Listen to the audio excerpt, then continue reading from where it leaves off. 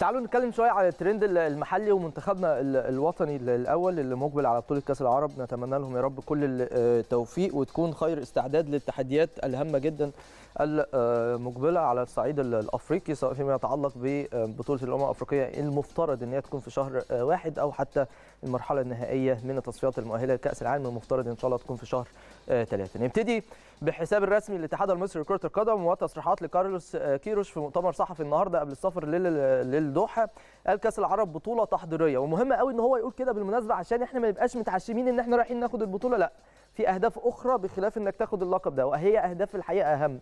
أنت بتحاول تعد جيل جيد للفترة اللي جاية آه، وكلام آه، آه، وأمور مهمة جدا وكمان عايز تجهز نفسك للتحديات اللي قلنا عليها.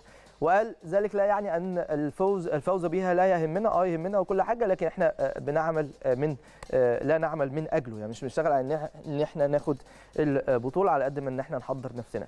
كيروش كمان من خلال مؤتمر صحفي وده من خلال الحساب في الجول قال انظروا للمستقبل. لابد من ضم لاعبين صغار السن كأس العالم ربما يصبح يصبح كل آه، عامين. فمن أين ساتي بلاعبين في هذه المدة القصيرة؟ الراجل بيبص لقدام ونظرة مست- مستقبلية مهمة جدا. تعالى كمان المستمرين مع تصريحات كروش آه، كيروش من خلال آه، يلا كورة. تم إرسال قائمة آه، تضم 40 آه، لاعب للمشاركة في كأس الأمم الأفريقية. نستطيع فقط تعديل الأسماء في حالة وجود أمور طبية أو آه، إصابات.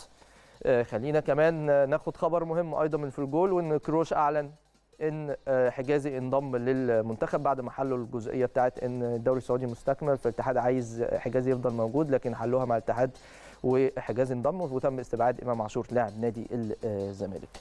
طيب دي أهم الأخبار اللي تتعلق بمنتخبنا الوطني تعالوا كمان ناخد تفاعل